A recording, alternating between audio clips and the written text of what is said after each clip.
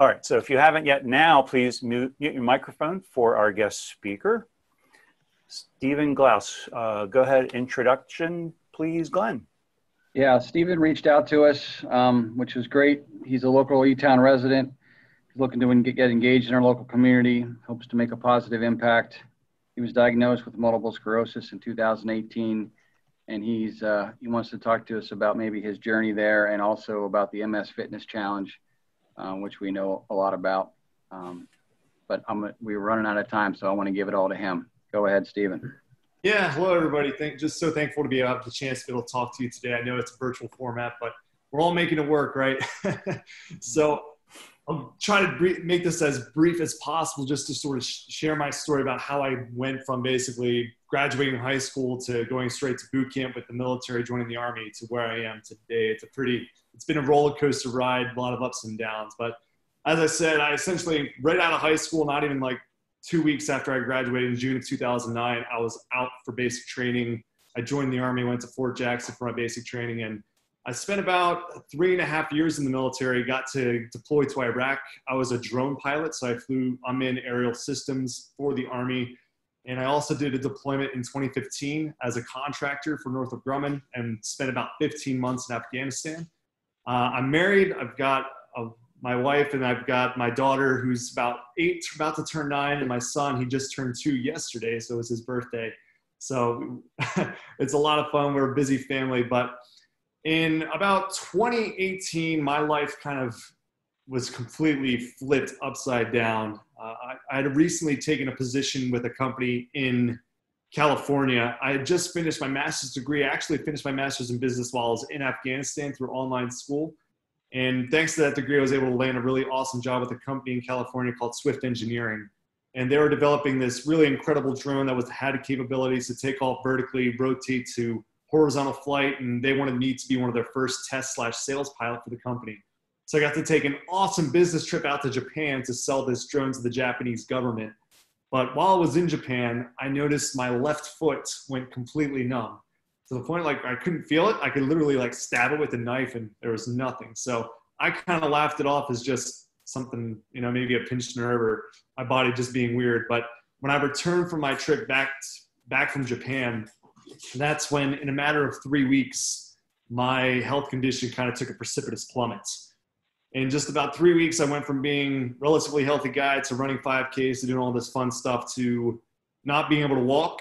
I could barely walk with the cane uh, barely being able to see. My vision was going double and blurry. It looked like I was looking underwater.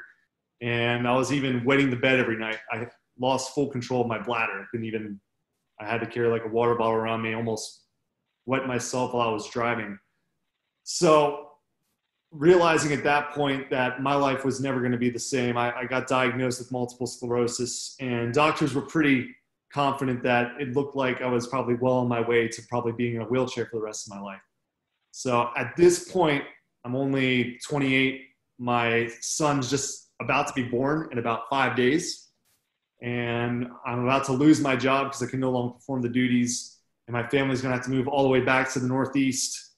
And I was desperate, just clawing for answers, clawing for a solution, just desperate for a cure. So I started digging into every resource that was fathomable through Google, through what you name it. I was I was there. I was looking, and I came across this book called David's Goliath, and it's written by this game this guy named David Lyons, and he shares this story. He's a he's a former amateur level bodybuilder who, at about the age of 50, he was getting into Hollywood doing some Uh, TV series shows for them, doing different pitches. And about the age of 50, he was also diagnosed with multiple sclerosis, and he kind of got the same prognosis being told that, hey, look, you're probably going to be in a wheelchair for the rest of your life. But he said, you don't know how big my God is. So he decided to take that diagnosis and use it as a challenge for him to get back into bodybuilding and pursue fitness as sort of his avenue to find restoration and, and healing for his body. So in about the matter of two years, he actually trained for a national level bodybuilding competition and won the most inspirational trophy award from that. He also got some accolades from Arnold Schwarzenegger, and he was able to actually get a fitness life achievement award from Arnold himself. And it was at that moment that his wife, his wife's name is Kendra, she challenged him. She said, David, all these things you're doing, they're really great. It's good for you, but you keep talking about you want to do this, you want to do this next bodybuilding competition. What about all the people out there in the world that have MS? Why not try and find a way to help them? And that's exactly what he did. So his wife and him, they got together and they started what's called the MS Fitness Challenge. And it's an organization that helps people through coaching, through fitness, through diet, nutrition, and exercise to, to gain a footing, a footing and a foundation to grow upon and actually start getting gaining traction and actually tackling this disease and actually getting better. So I remember I finished reading his book and I, I felt so compelled, so inspired that I wanted to get a hold of him. So there was this little contact us page in the back of the book. Mind you, this book's like eight years old already. But I figured, you know what? I'm going to send an email just like know how much I appreciate this. I sent the email, and even I'd say five minutes later, it was. It just so happened to be David was checking that email for the first time in over a year. He was looking at it when I sent him this email. So he responded to me immediately. The next day we got on the phone together. And after talking it out and sharing our stories, he asked if I wanted to work with him. So in about two and a half months, I got certified as a personal trainer with a special certification in training people with multiple sclerosis. And I also decided to, to do something crazy and actually start training for an Ironman triathlon. So for about the past 15 months or so, maybe 16 now, I've been training for an Ironman, which I was supposed to do next month in September in Maryland, but unfortunately it's been canceled. But uh, I plan on actually doing a virtual full Ironman here in Lancaster County in October. So I'm still going to be doing a full Ironman in support of the MS Fitness Challenge and trying to inspire hope and just raise awareness for what's going on. So it has been such an incredible journey. I mean, there along the way, I've, I've had several relapses back maybe in uh, February of this year. I was in the hospital again with my vision. And it's been just a battle every day between my mind and my body. But thanks to just consistent prayer, consistent motivation, encouragement from my support network, my family, from all the people around me, and the communities that I serve and that I'm, I'm i participate in, uh, I'd like to say that I'm I'm sort of kicking MS in the teeth. Like I, I'm at the point where I'm ready to do what very few people on this. I think there's maybe four other people in the world with MS that have ever finished an Ironman, and it's something that uh, I'm I just feel blessed to even have a chance to be a part of. So my hope is to inspire other people, and I know that there's people local in this area that have multiple sclerosis. I know there's people local in this area that this this goes beyond MS that are dealing with a significant health diagnosis, whether it be cancer, whether it be some terrible disease. But there's also all of us can relate to the fact that we are all. I'm pointing at each and every one of you. We are all going to face trials, adversity, and suffering in this life. And when those things happen, you have two choices. You can either push forward or wave the white flag of surrender, fall back, and just fall victim to what's going to happen. So, my encouragement to everybody today, if you take nothing else from what I'm talking about my, my introduction, my speech today, is make that decision now for whenever that does happen, for whatever battle does arise, wherever, whenever your Goliath rises up, that you're ready to fight. Thank you guys so much. Stephen, thanks. That was that's very inspirational. Did anybody have any questions for Stephen? I have a question. Yeah. Um, so somebody I know was recently diagnosed with MS. Do you have contact information? I'm not sure yet how to bridge the contact, but I'd like to at least consider it. Um, I, I think it could be extremely helpful to them to be able to reach out to you if you're open to that. Yeah, I'd be 100% open. I mean, I'm, I'm now the director of fitness for the MS Fitness Challenge. So I serve as like the secondary leader of the whole organization, developing the training programs. And I always love just being there as just an interactive resource to be with people. And because it's, I mean, it sucks when you get diagnosed with MS. It's a, it's a life changing sort of diagnosis. And there's a lot of negativity associated attached to that where the majority of people are told you're, you're basically on a progressive downward decline for the rest of your life but we try to speak hope and up, up, up, uplifting encouragement to people as opposed to, to what the medical community often says. So yeah, I would, de- I could, I can definitely share those resources. Would be happy to, maybe uh, I can get with Donald or with uh, Glenn and I could share via email and you guys can distribute that. Thank you. Steve, I have a question. Yeah. Um, you're a vet, and is the VA providing any uh, medical assistance to you, especially with your vision issues? So that's the wonderful thing. The VA actually, in the past, I'd say 14 years or so, they've uh, a lot of research has been done, and they determined that veterans who have been deployed to the Middle East, so you're talking about Kuwait, Iraq, Afghanistan, any any military personnel that have been deployed to those areas come back and they still don't know the reason why, but they come back with a 400% higher likelihood of developing multiple sclerosis than the average population. So because of that, they have now sort of retroactively are awarding veterans who get diagnosed within five years of being separated, being di- then they're awarding veterans with uh, basically VA benefits. So I have been able to get disability benefit claims from my MS through the VA. So I'm I'm actually 100% covered through them. Okay. What sort of vision issues do you have? So my vision is called a diplopia, and it's essentially my eyes will, when I sort of lose control of them, they'll go cross-eyed without me actually doing anything. I'll just lose control of my pupils, and basically it, everything goes double. And then if I get really fatigued, it starts to look like I'm looking underwater at the same time. So I basically am just like swimming around with my hands because I can't really see anything. Okay. Uh, I, I, think you might know that I have vision issues also.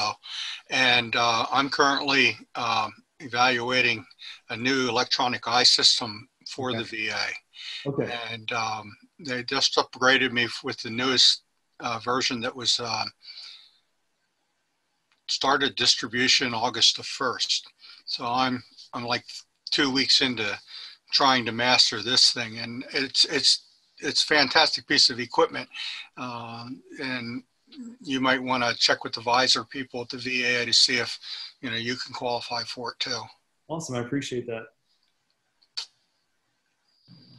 Any, any other questions? Stephen, uh, could you uh, list several things that you've done? What specifically is the program for exercise? I mean, how did you start? What did they say that you should do? What made the difference initially that you said this is working in terms of nutrition, but especially whatever the exercise is? What what practical things did you actually do that that was good? Right. So I'd say the, the two biggest factors for me would definitely have to be my diet and nutrition, as well as just I'll just say exercise and and multiple sclerosis. It kind of is almost like counterintuitive. I'll give you an example. When I, was, especially early on into my diagnosis, my, my wife, she's actually a group fitness instructor, and she teaches a class that's called Les Mills Body Pump. And it's like a high endurance uh, muscle strength class where you do a lot of repetitions of the whole, bo- a whole body workout.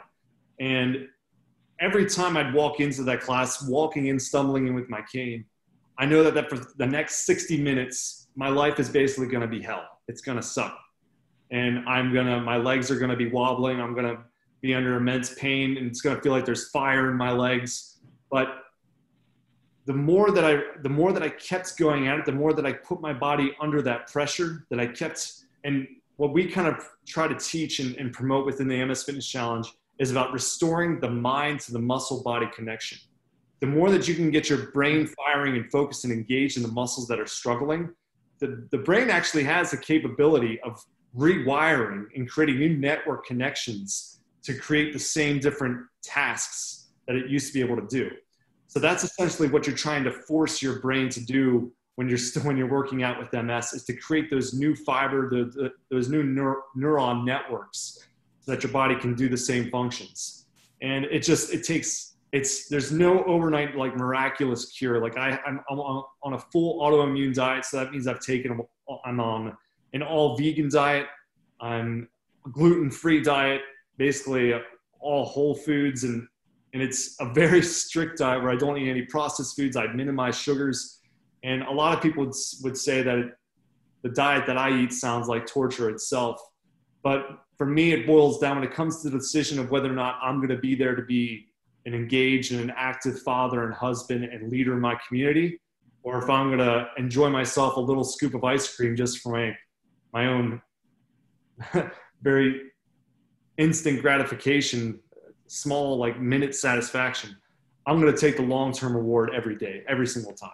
That, that those small setbacks in the long run, they're not worth it to me and, and all the progress that I've made. So moving forward with with being able to get to the point where I am today, it's just it's all about consistency. I think consistency is is the biggest key ingredient to success when you're living with MS is to continue moving forward and, and never looking back and, and just staying focused and, and not getting discouraged when things go bad. Because I've had a few relapses and it can be really discouraging, especially after I've made all this progress to, to fall back again for no fault of my own. But to always keep getting back up, keep fighting, keep pressing, keep striving. And so I'd say definitely it's the it's the diet, nutrition. I started changing those two things and started no, noticing immediate uh, results of better better energy, uh, better just daily functions of different body movements. But then as the more that I continue to exercise, the the worse the the, the really bad side effects of like the numbness and the trouble walking and the, and the blurry vision that usually was included with those things, they all started to subside. And I'm now at the point where I can actually run a good 13 miles. I, I can bike 115 miles. And sure, my legs are going to feel like that they're, you know, that feels like there's lead weights and then they get really numb, but my vision doesn't go all blurry and I can still manage to walk after doing those things. So every single time I go out there and exercise, it's, it always gets difficult, but later on it gets better. So it's, it's keeping that long-term game in effect. I just have a comment. Uh, Dave Hallowell is a uh, program at, at uh, Hershey Hospital, and Dr. Charles Duffy, who's a neurologist. He's just looking for people who have, I'd say at this point, the kind of story that you bring. And perhaps uh, there might be a connection that would be valuable to you and to the efforts of this guy up there. He's spoken at Masonic Village, so yeah yeah, I'd be happy to share my story. I mean, I I'm not I'm not ashamed to say it, but like my story, it's impossible without God. Like I give Him first and full credit for where I'm at today because it really, when you look at, I mean, I was unrecognizable two years ago to where I am today. Like you, to to do what I'm doing and be where I'm at today, you, I would have laughed at myself had you told me, oh, by the way, you'd be, you're going to be doing an Ironman in about two years. You got this. Like it just doesn't Amazing. make sense. So, thank you. I, I have a comment. Uh, you know, Stephen, I can't necessarily speak on behalf of the entirety of you know the Rotary Club uh, here in Elizabethtown, but uh, I have two brothers in the service. Uh, one uh, had three tours in Kuwait, and one just actually got back uh, like a week or so ago from the country of Jordan for six months. Right. Uh, and so, you know, I appreciate all that you've done for the country. Uh, God bless you. Yeah, thank you so much. Yeah, it's I, I would do it again in a heartbeat. It was it was my honor and privilege to be able to serve. So. Any last question? Okay, if great not, program. Yeah, go, go ahead, Dave.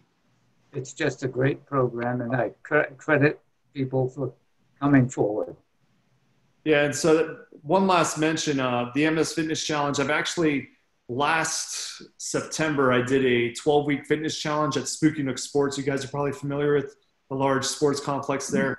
And uh, I raised some local funds to be able to do 12 weeks of personal training for six people in our local area that have MS. And I did one on week weekly training with them at Spooky Nook Sports facility. So when these COVID restrictions sort of taper down and everything sort of maybe gets back to normal, I plan on doing that again. So I would love to maybe get your guys, garner your support to just try and raise awareness and get people, hopefully in Elizabethtown, uh, who have multiple sclerosis, just get them aware of what's, I mean, it's a totally free program where I work with them for, they get a free access to Spooky Nook Sports for three months and I, they get one-on-one training with me. So it's a, it's a win-win all the way around. Wonderful. Stephen, my email, I sent that to you in the chat. I don't okay. know if you can grab that before you uh, pop right. out. But uh, any last question? We have another minute. I just want to say you are such an inspiration. I don't have MS and I can't do half of the stuff you're doing. Well, I probably could. Maybe. Yeah, we're going to sign you up. yeah, yeah, sign me up. No, but you are an inspiration. And, and God bless. this will probably be the weirdest thing you'll hear me say, but I think multiple sclerosis is the best thing that's ever happened to me. It was, it was my wake up call in life and my chance to amplify Christ through my through my weakness and just show the world just how strong God can be. So, thank you guys. Stephen, you're truly a hero, a local hero. Um, Roger, it's awesome to hear about your new vision technology and what that could mean for Stephen down the road or, or, or now. Uh, but Stephen, we so appreciate your willingness to share your story, your inspiration. Oh man, and um, also for uh, that uh, amazing the concepts you're talking about with brain overcoming the re- rewiring and so on, but also for cheering us on for our current and future challenges. Mm-hmm. So, everybody, have a victorious and enjoyable weekend. Take Thank care. you, Don. Thank you, guys. Yeah, thanks. Thank